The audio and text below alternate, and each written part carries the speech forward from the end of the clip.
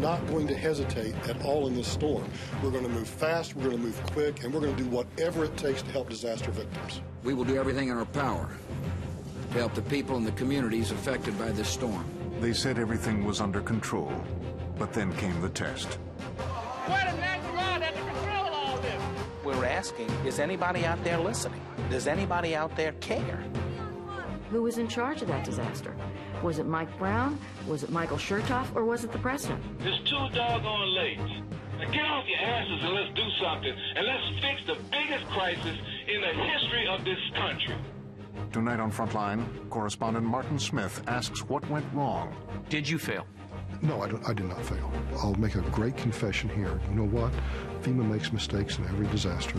And whether America will be prepared next time disaster strikes.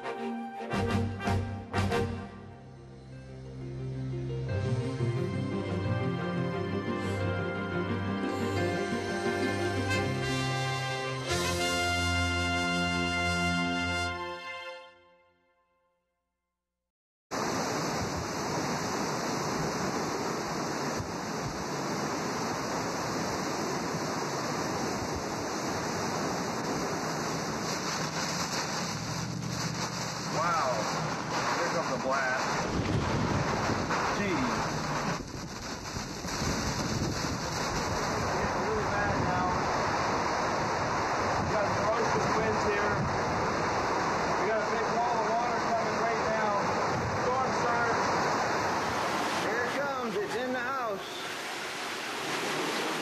It's up to the top. Never thought I'd die this way.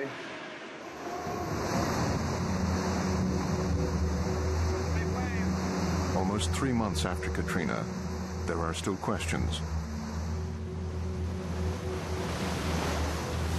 Why didn't New Orleans evacuate sooner? Why were so many people left behind?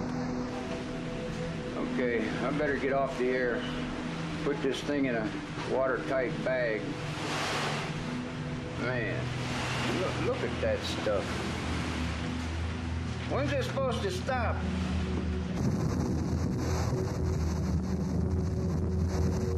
Where was the National Guard?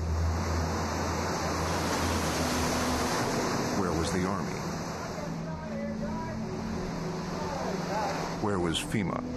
I can't believe it. My damn relative. That thing's coming in hot. There are just as many explanations for what went wrong. Local and state officials failed to plan. The U.S. military waited too long. FEMA was poorly led. The government was indifferent to victims who were mostly poor and black.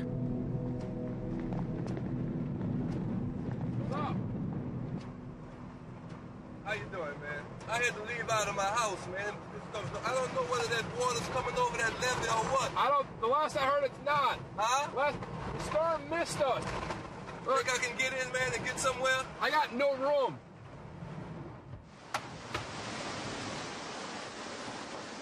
In the first few hours after Katrina hit, many believed that New Orleans had dodged a bullet.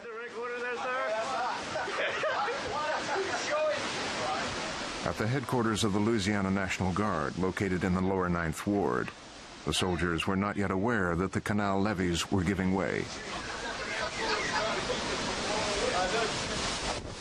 The Guard's commander was monitoring the situation from Baton Rouge.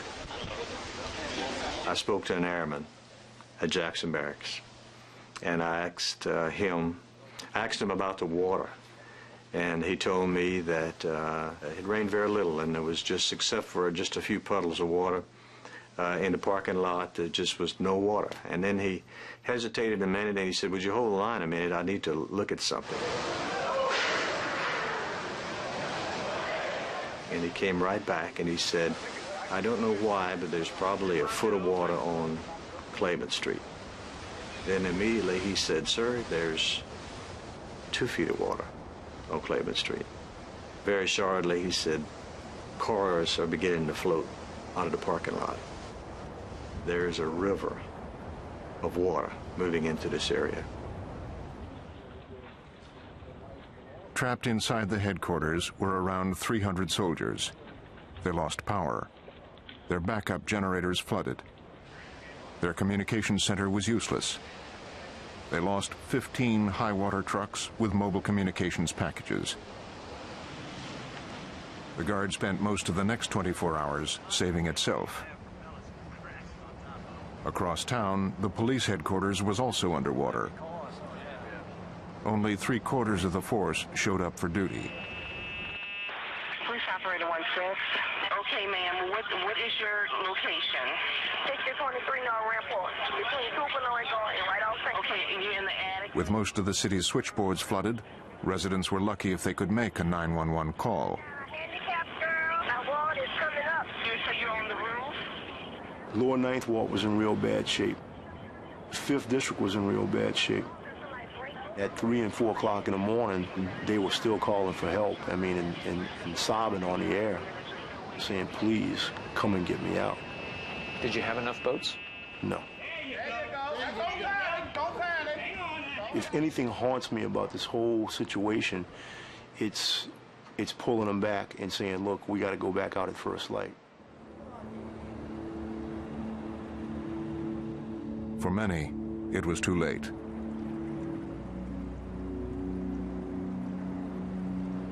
And the failure of communication systems cost lives in those first days. Fair statement?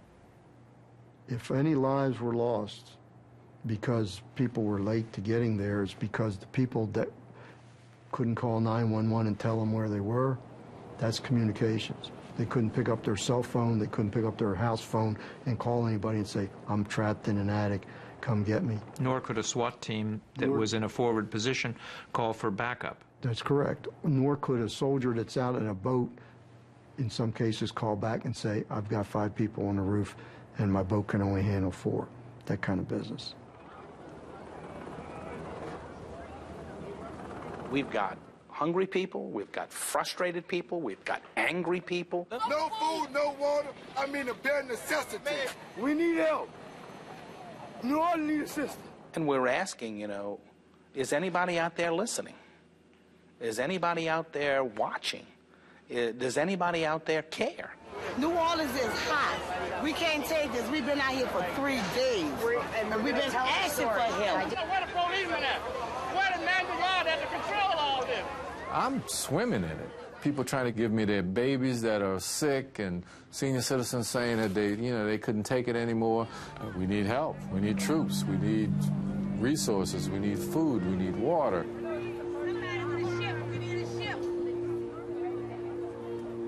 But it was the mayor's responsibility to stock the shelters with enough food and water and to mobilize city and school buses for evacuation. 500 were flooded when the levees broke.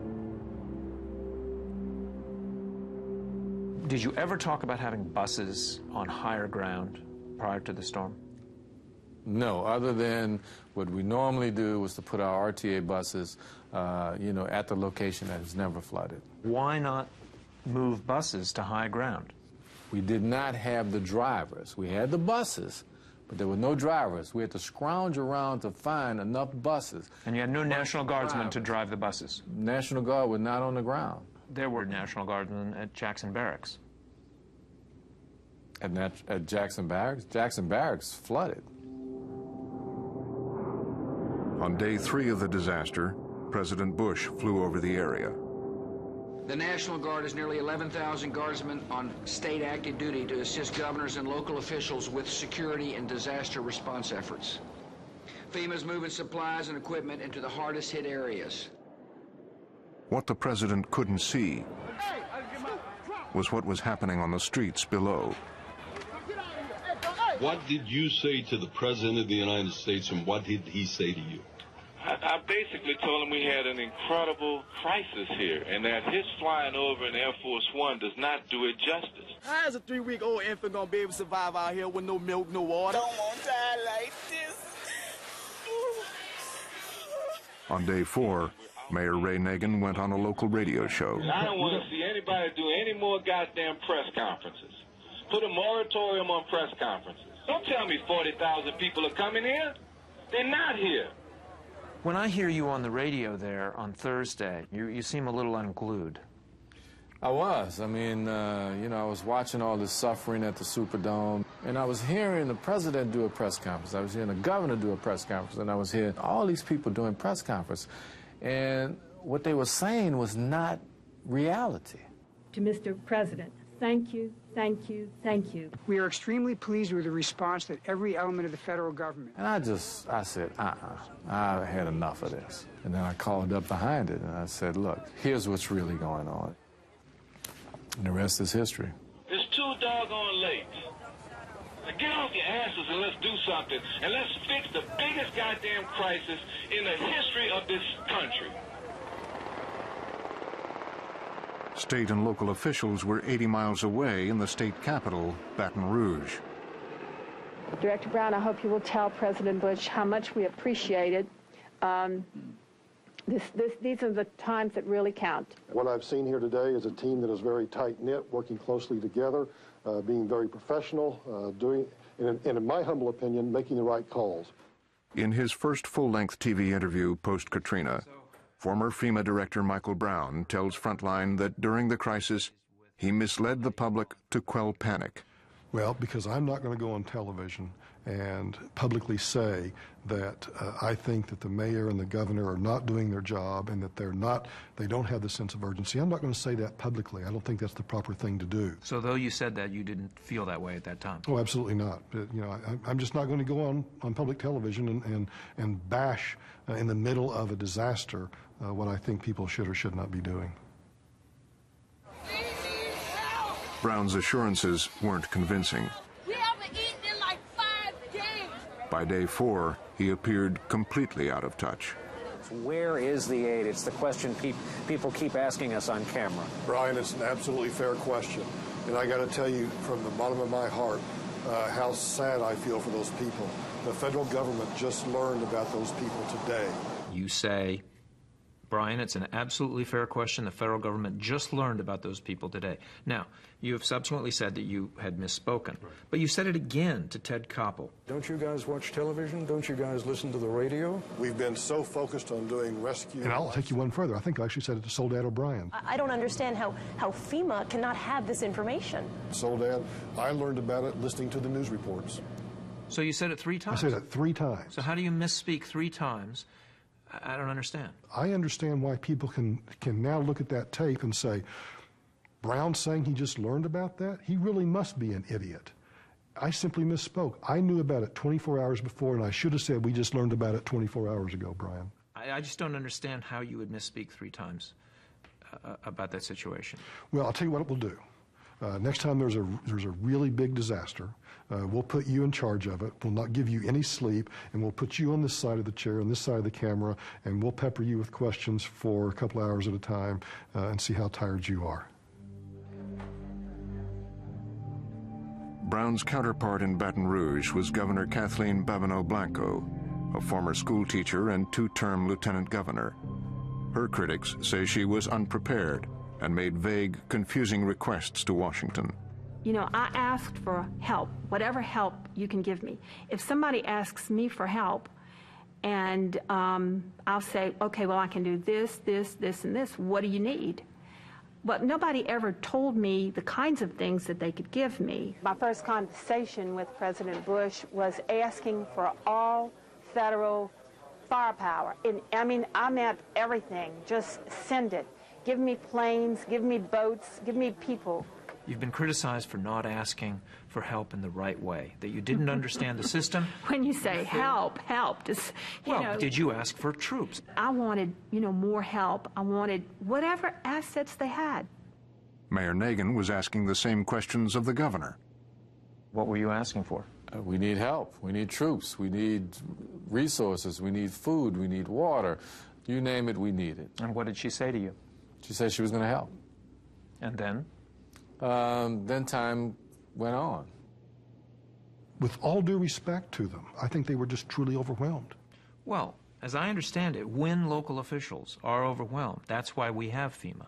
That's correct. But FEMA does that based upon the priorities of what the state establishes. Uh, the state is still in control. We don't come in and take over. We don't have the resources to take over. And Brown claims that he couldn't really help Louisiana because officials didn't tell him what they wanted. Uh, I talked to General Landereau, who, the Landreneau. adjutant, uh, Landreneau, I'm sorry, the uh, adjutant general, uh, about some of the things. You know, I, I actually went to him and said, "Help me, help you. What do you need?" Uh, and and I remember being surprised because um, he didn't have like a list of priorities or things that he needed. But General Landreneau says Brown is wrong. Are you saying that he's making this up? I'm, I'm not going to, you know, I'm not going to comment on on what uh, Mr. Brown. But he's making a charge about you. He didn't say. But I can can assure you that uh, that we requested uh, assistance from FEMA. We've got documentation to show that. After that interview, General Landreneau sent Frontline a 48-page document from FEMA.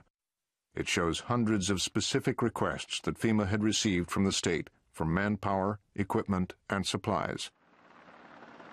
Other Louisiana emergency managers say FEMA simply didn't deliver.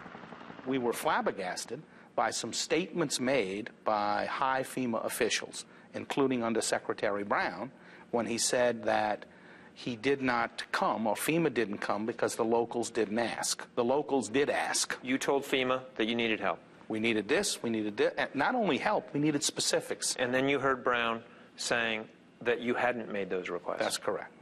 What went through your mind? It was, uh, uh, you know, anger. It was uh, betrayal. It was uh, a calamity was going to be, you know, uh, intensified, and uh, and we were going to look at now devastation squared.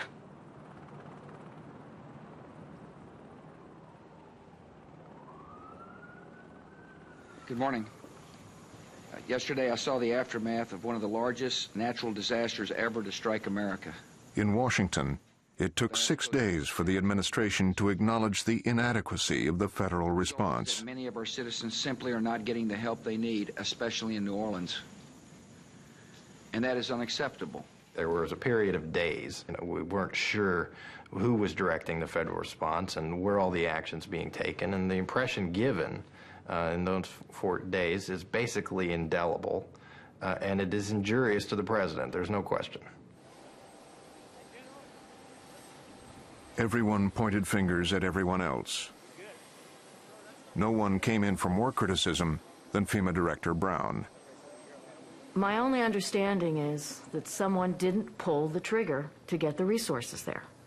And who was responsible for pulling the trigger is questionable because I could never figure out who was in charge of that disaster. For the first five days of the disaster, was it Mike Brown, was it Michael Chertoff, or was it the president? It had been a very long week. America's top National Guard officer says he hopes next time things would be done differently. What was the impact of the flooding of your headquarters? Oh, just dramatic effect. So did it make sense to have it in a place where you knew there was possibility of flooding? In hindsight, no. You wouldn't do it that way again? No, I don't think they would. I don't think they would. But General Landreneau insists he made the right call. So you'd do it the same way? You wouldn't change the I way would you have- deploy? No, we would have personnel and equipment at Jackson Barracks again. I talked to General Landreneau, and he Mhm. said he would do it again. He would do it exactly the same way. Well, I would, I would hope that he would think that through a little more carefully.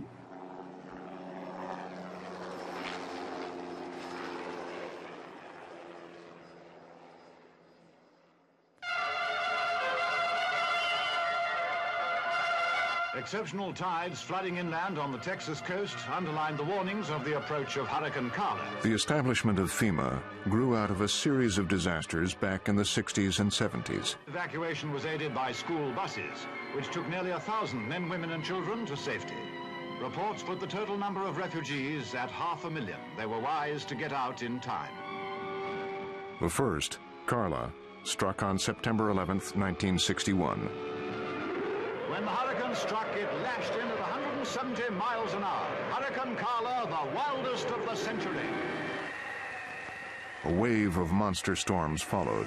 another 25,000 refugees to swamp already overcrowded shelters. When Hurricane Betsy struck Louisiana in 1965, half of New Orleans flooded.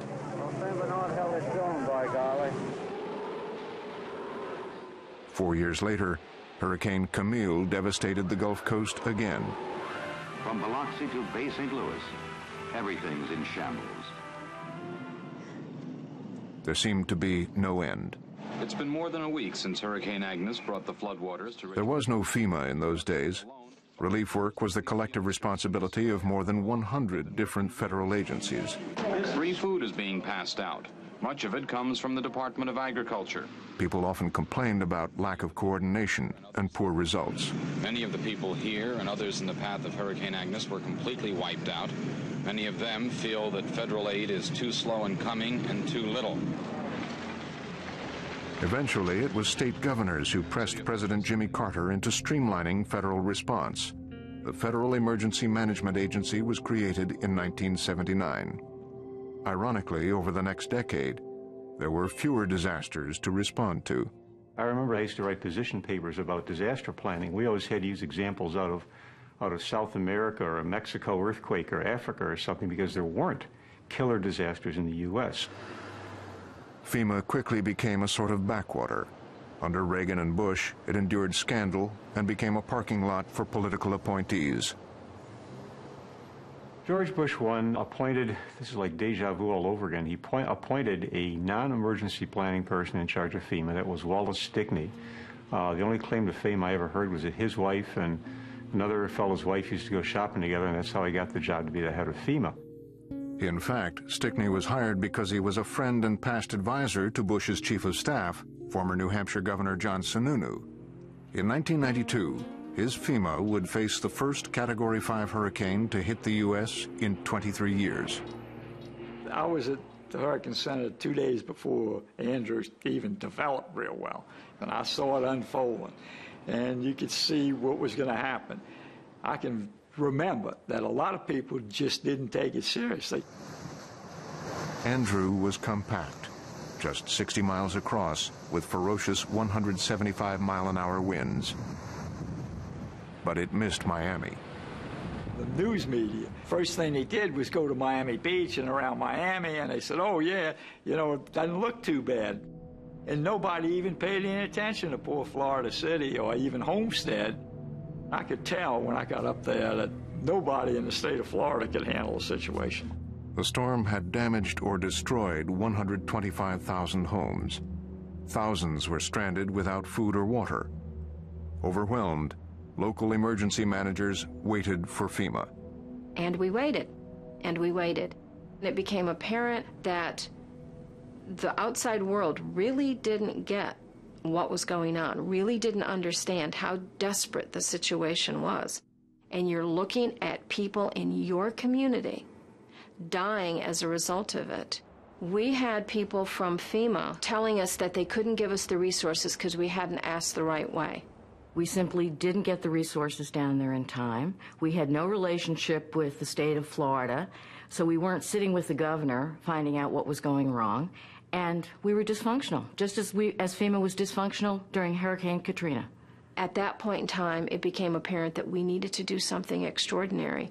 We had nowhere else to go. If we do not get more food and water into the South End in a very short period of time, we are going to have more casualties because we're going to have people who are dehydrated, who are without food, babies that need formula. All I know are a lot of people are saying, why aren't we doing more? We're doing everything we can. Where in the hell is the cavalry on this one? Within three hours, apparently the um, switchboard uh, of the White House was just absolutely inundated with calls from all over the United States. Um, the Pentagon was activated in three hours. Mr. President, do you, as President, bear some responsibility for the delay in federal help? Uh, we're not talking about delay. The military was ready to move instantly. Hot planning right from the very beginning. President Bush nudged his FEMA director to the sidelines and inserted his Secretary of Transportation, Andrew Card, as fix-it man. This is not a time to stand around and talk. It's a time to get busy, and that's what I'm down here to do.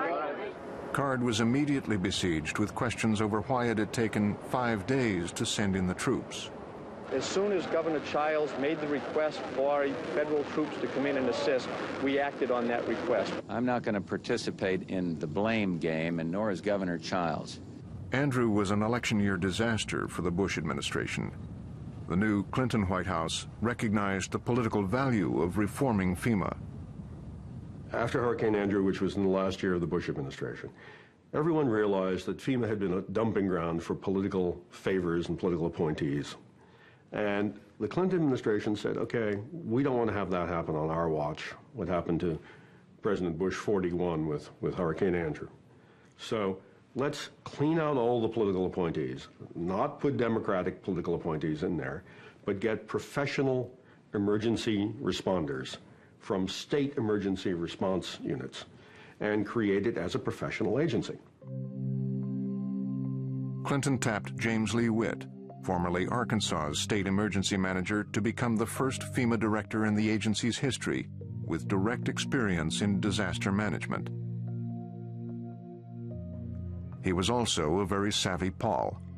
I remember the first day he was there, he stood in front of the entrance of FEMA like a politician and he shook hands with the FEMA employees coming at 8 o'clock in the morning. I'm James Witt. I'm your new director. Glad to meet you. And right away, people thought, hey, this is, this is interesting. This is something different. Everybody across the country loved to hate FEMA, and the morale was just terrible. It just wasn't performing. And we made FEMA a more functional organization, a flatter organization, and with less bureaucracy. Republicans and Democrats alike agree that under Witt, FEMA finally became the professional disaster agency it was supposed to be. You were never tested with a disaster of this uh, uh, proportion, though. Well, I don't know if I, if you, not the magnitude, I guess you would say, uh, but uh, probably close. Northridge earthquake was one of the largest in history. Um, the Mississippi River flood was quite large, nine states. Hurricane Floyd, which flooded almost all of North Carolina. Witt focused on prevention or mitigation, working with communities to prepare for disasters. He began Project Impact with $30 million in seed money. Congress asked us to do a cost benefit analysis on the mitigation, and we did that. And we found that every dollar spent saved anywhere from three to five dollars in future losses, but it did more than that. It saved lives. Project Impact gave money to seven pilot cities, and by 2000, nearly 250 communities had joined. But not all cities had participated in the program. New Orleans, for one, opted out. What would New Orleans have gotten had they participated in Project Impact? New Orleans could have sat down and brought all their community leaders together, both private sector and public sector, and looked at what their risks were. Obviously, everyone in New Orleans recognizes that they live below sea level, recognizes that the levees are a protection, but as we've seen, not the ultimate protection. Then they could begin to address some of the issues. I, um, you know, as governor, um, one of the things you have to deal with is catastrophe. I can remember the fires that swept Parker County, Texas. In the 2000 presidential debates, Bush praised Witt and FEMA. I've got, to, I've got to pay the administration a compliment. James Lee Witt of FEMA has done a really good job of working with governors during times of crisis. But after Bush became president, Witt left the agency. I, Joe Allbaugh, do solemnly swear that I will support and defend the Constitution of the United States. Like his father, Bush stocked FEMA with political appointees with little or no professional experience in emergency management. His campaign manager, Joe Allbaugh, became FEMA's new director. I couldn't have made it to Washington without him. And I can't tell you how honored I am that he has come to Washington to serve his country. Thank you for accepting this responsibility. Following the Bush budget-cutting agenda, Allbaugh set out to trim FEMA. One of the proposed cuts was Project Impact. In late February 2001, Microsoft was hosting a conference in Seattle when a major earthquake struck.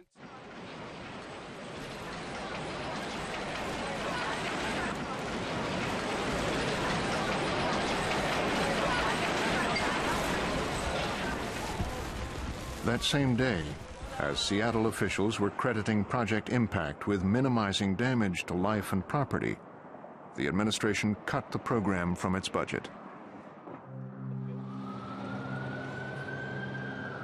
And in May 2001, Albaugh told Congress that FEMA was, quote, an oversized entitlement program.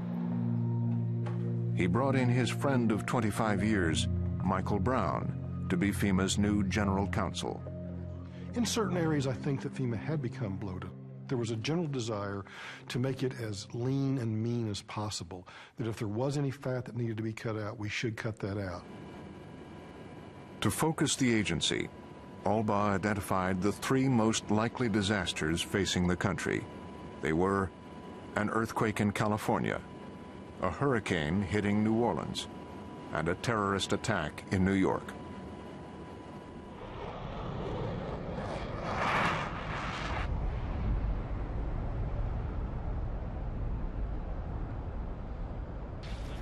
By all accounts, FEMA performed well after 9-11. When 9-11 happened, the career people in FEMA did what they always do. They went up to New York and immediately set up a disaster field office, set up communications. Albaugh would not talk to Frontline on camera, but in a telephone interview, he told producer Martin Smith that the FEMA you saw on 9-11 is not the FEMA we see today unquote. Albaugh says the fault lies with what happened next. Tonight I propose a permanent cabinet-level Department of Homeland Security to unite essential agencies that must work more closely together. Among them the Coast It would be the largest reorganization of government in 40 years, made up of 22 federal agencies scattered across Washington, D.C. and Northern Virginia. For the new boss, the challenge was to get this archipelago of agencies to function as one unit. This would test the competence of a Jack Welch or a Lee Iacocca. The department is this huge management challenge, a huge budget, about uh, 30 to 40 billion dollars or so, the third largest agency in the government, and all cobbled together in a matter of months. And yet we had at the top someone who'd never managed anything larger than the immediate staff of a governor or the immediate staff of a congressman. The department is under the command of a superb leader who has my confidence. Congratulations, Tom, and thank you for serving. If you look at Department of Homeland Security, it's like a holding company uh, where you had some mergers and acquisitions. Uh, you had uh, a couple new startups, basically putting together 20 plus units of government and about 180,000 people. The department became much larger than Congress had ever proposed. Then they decided to form a larger department than you would recommend. Correct. Bad idea, good idea? I thought it was a bad idea because uh, I think that any government reorganization uh, has to come in relatively small bites, and uh, or else you get indigestion. If you look at our original report, it was a much leaner organization. The, the, the key parts of it were FEMA, the Coast Guard, uh, Immigration and Customs Enforcement, but here, you had a lot of other things that went in, which, in my opinion, uh, uh, didn't belong there. In the bureaucratic shuffle, FEMA was downgraded from an independent agency to a subdepartment of Homeland Security. What it looked like to us was that, for whatever reasons, a well run system was either on purpose or accidentally just being pulled apart and shredded. Because our system wasn't perfect, but it worked pretty well. FEMA was a very small agency being moved into a huge department where it would have agencies like Immigration Services, Transportation Security Administration, groups and organizations that had 10,000 to 20,000 employees in it. And a small agency like FEMA could not possibly compete. The creation of the Department of Homeland Security became a death knell for FEMA. The morale at FEMA plummeted. Scores of lifelong employees left the agency. Director Joe Albaugh left for the private sector. Michael Brown took over. When you move FEMA into the Department of Homeland Security, you do create this added layer of bureaucracy that FEMA has to deal with uh, in terms of budgets, in terms of personnel, IT systems, everything. There was almost $80 million that was taken out of FEMA's budget to use in other areas of the Department of Homeland Security. And once we moved FEMA in there, these taxes started to occur and we started to lose the resources. That was a mistake. People inside FEMA complained that they got taxed to pay for this new overhead. Well, it's quite interesting. Uh, they use the word tax um, because these agencies and their uh, individual heads understood that as part of the integration process that we're going to redistribute some of the dollars they had. You don't think FEMA was hurt by the reorganization? No, of course not. No. Terrorism was the uh, issue du jour. I mean, that, that was the issue. Uh, and, and, I want to emphasize that I don't minimize that issue because I do believe it's important. But you need to be prepared to respond to a disaster regardless of what causes it. Brown was also planning to leave FEMA for the private sector around the time Katrina struck. Uh, let's get started immediately. Uh, National Hurricane Center, you want to give us an update? This is a very, very large hurricane. And For all the cutbacks at FEMA, Brown faced Katrina with some planning under his belt. Okay, we'll uh, move on now to the uh, states, uh, Louisiana. A year earlier, the agency had sponsored an exercise called Hurricane PAM that forecast Katrina. PAM is the perfect model of what happened here. You know, everything that happened in PAM, which was purely fictional and, and an exercise, happened in Katrina. But PAM set up false expectations commitments were made at the end of the exercise. This is what we're going to do. This is what you're going to do. This is what this one's going to do. And the problem here that developed in Katrina is that the locals accepted that. We believed it. After 20 days and $850,000, the administration cut FEMA's funding for the PAM exercise before it was completed. This 121 page draft report shows that key planning decisions were not yet made. The issue of medical care for hurricane victims was not yet finalized. Communications were not addressed at all. Key transportation decisions were left to be determined. As Katrina approached, state and city officials knew they were unprepared. The storm was coming, it was heading dead on in. It had uh, been gaining strength. It had been headed closer. A direct hit was going to be really bad for the city. They knew for days that the hurricane was going to hit a city that was already below sea level. I said, Mr. President, it's going to be a big one. It's going to be bad. And I'm going to need a lot of help. We have a, you know, have a very small state. Ladies and gentlemen, I wish I had better news for you, but we are facing a storm uh, that most of us have feared. In those last hours before landfall, dozens of copies of the PAM report were distributed to emergency planners. Every person is hereby ordered to immediately evacuate the city of New Orleans. But when it came to evacuation, they were forced to improvise. We basically communicated with all of uh, you know, the people in the city, especially the churches, to say, look, this thing is coming. We faxed out to everyone. We, we had talked about a buddying system, and for the most part, a lot of churches participated and got people out. Can we evacuate cities, really?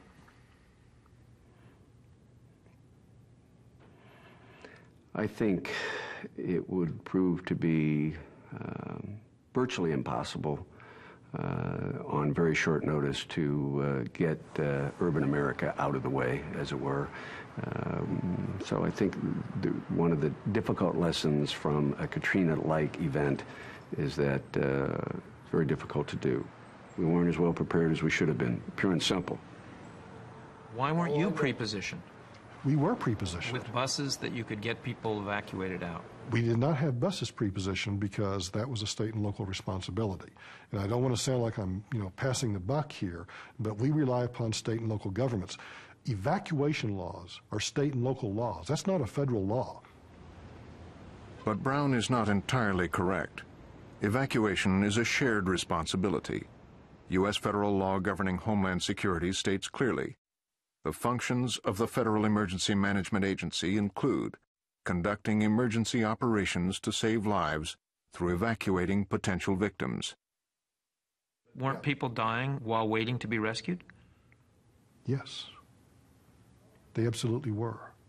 Uh, because people who either did not or could not evacuate, and as the waters began to rise, they found themselves in situations where they were going to die. Uh, and And every rescuer on every helicopter and every boat was trying to get to every person that they could. The red and white awning! Oh, you see it? You see, we might have to get on the level on the thing. One busload would have saved some people. Two busloads would have saved twice as many people. Uh, things like that that I just wish all of us had been a little more oomph about. Brown's regrets aside, there was an age-old political caution operating, a belief in maintaining strict constraints on federal power. Shouldn't it be the role of the federal government to be setting standards for evacuation? I think it's the mayor's responsibility. It's not the federal government's responsibility to make sure that our cities can be evacuated in a timely fashion? We are really talking about uh, a logic path that takes you to pretty Orwellian nature. But we yet we have educational standards. It's the responsibility of states to have good, clean air um, yeah, policies. I, I, hear you. I, I know. I, I, think I. It's not Orwellian to have a, a, clean air standards nationwide. It's a step in the direction, and I would offer that if, in fact, uh, uh, the mayor or the governor had had that imposed on them, there would have been some not so fast associated with it. The Hurricane Pam exercise had predicted that more than 100,000 people would be left behind. The vast majority of the more than 900 people who died in New Orleans were elderly. 154 of them patients in New Orleans area nursing homes and hospitals. 34 died in this facility alone. Why did that happen? It appears that the staff did not implement their plan, which requires uh, them to evacuate, and I suspect didn't believe that the storm was going to be as, as disastrous as it was. And when they realized it, they couldn't do anything. And so they decided to save themselves. And they ran and left these, you know, 30 some odd older people to fend for themselves. And they died in their chairs.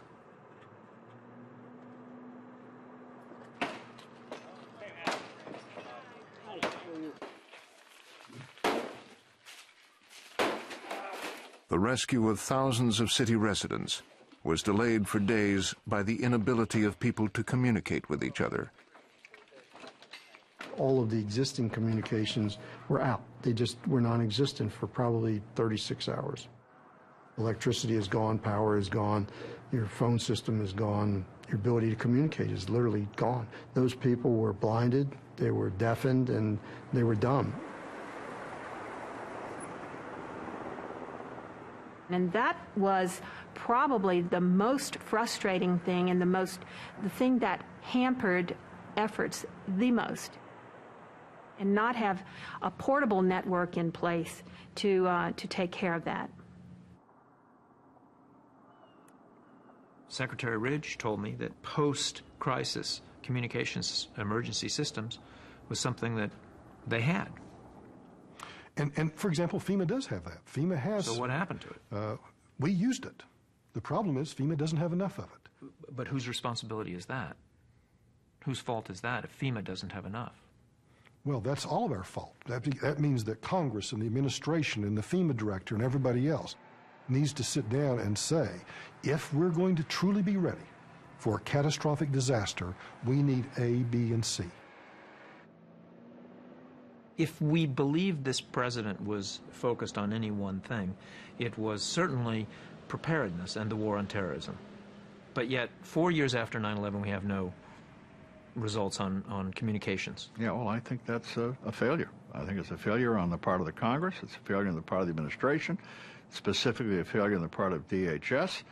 Uh, people should have paid more attention to that. I mean, if we ever learned anything, we learned at 9 11 in New York that those valiant people who lost their lives, many of them might not have lost their lives had they been able to talk to each other. They just weren't able to. The ability of first responders to talk with one another is called interoperability. Despite widespread recognition of its importance, very few cities have it. You've got to get interoperability of communications, or else you're going to have disaster no matter what goes on. Primary channel is going to be Spec 1. If Spec 1 goes down, NOPD guys, your backup channel is going to be on Spec 2. If I were in a position to make a decision, the first thing I would do is to start funding interoperability for every major metropolitan area in this country, and I'd get it done this year. Here we are four years after 9 11, and we still don't have robust, interoperable communications. Why? The interoperable communication dilemma is one that has existed, to your point, before 9 11, and the tragic consequences were most vivid on 9 11.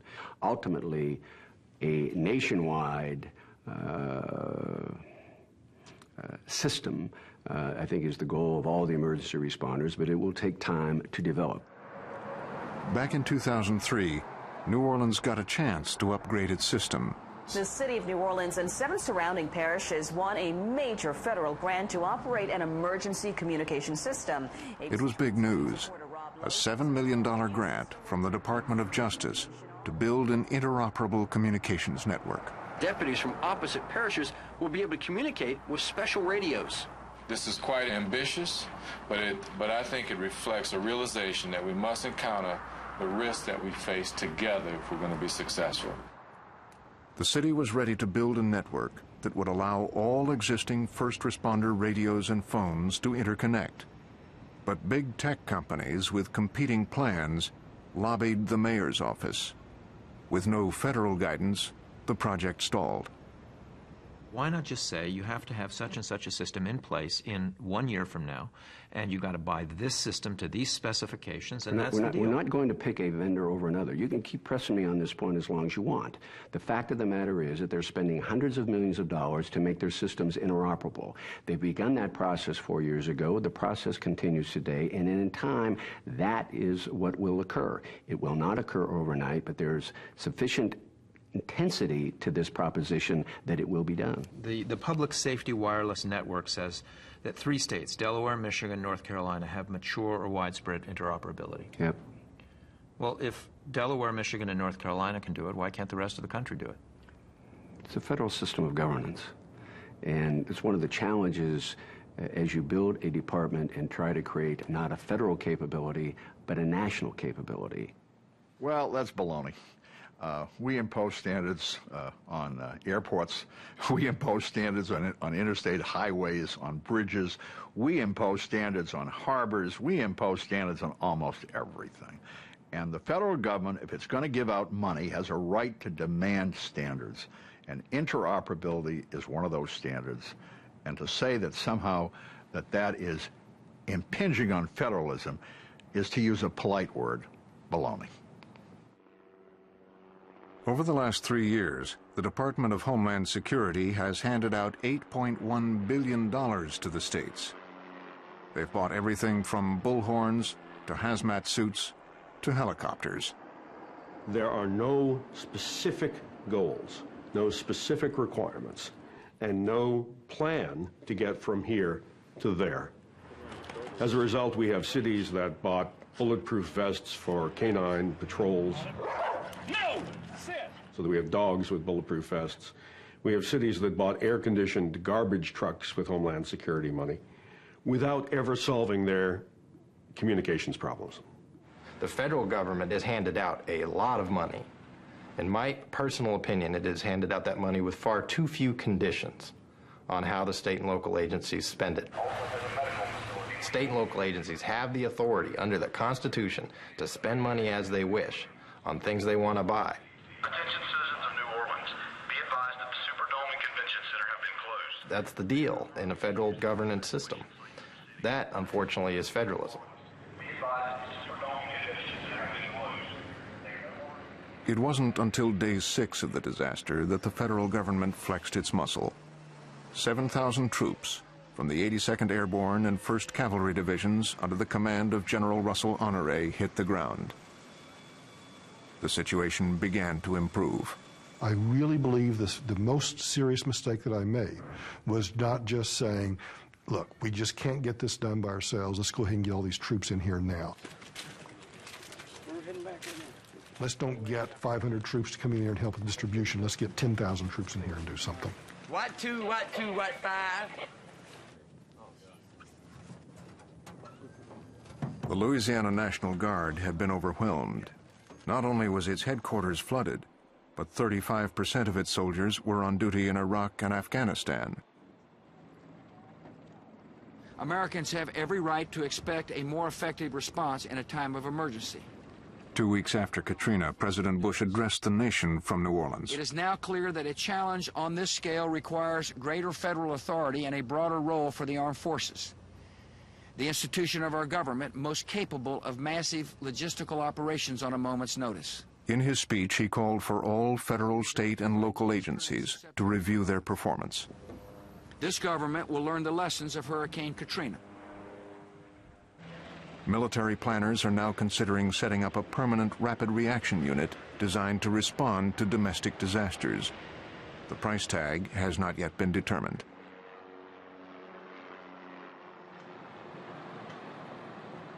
Meanwhile, plans have been drawn up to further reduce FEMA. In June 2005, two months before Katrina, Director Michael Brown sat down to write a memo to the number two official at Homeland Security. This is to express serious concerns about the direction this is taking emergency management in this nation, Brown wrote. The proposed organizational structure is doomed to fail. I don't want to see us fail this president or the nation. The latest reorganization that Secretary Chertoff has suggested, FEMA loses more stature. FEMA becomes an office. And not just that, it loses all of the preparedness functions. And FEMA becomes a very small response, recovery, mitigation organization. But on October 18th, President Bush signed the order to take responsibility for preparedness out of FEMA.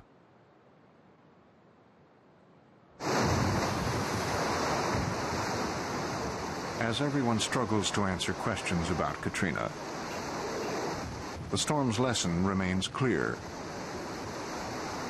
The high cost of being unprepared. Came up pretty fast. I've been pretty ineffective at my vertical evacuation. Oh, look, there's somebody swimming around outside. Going to get in my tree. Who's that? It's my neighbor, apparently. Hell's he doing swimming down the block? I can imagine what this guy's doing out.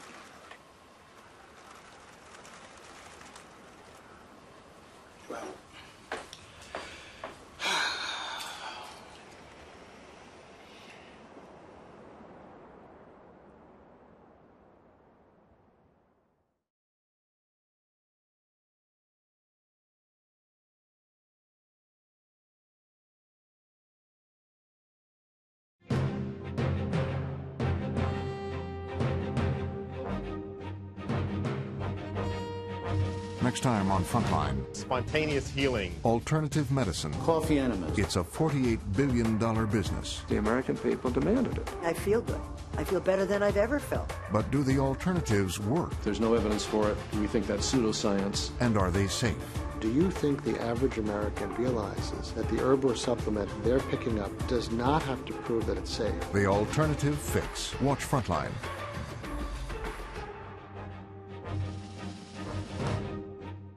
Frontline's: The Storm is available on video cassette or DVD. To order, call PBS Home Video at 1 800 PLAY PBS.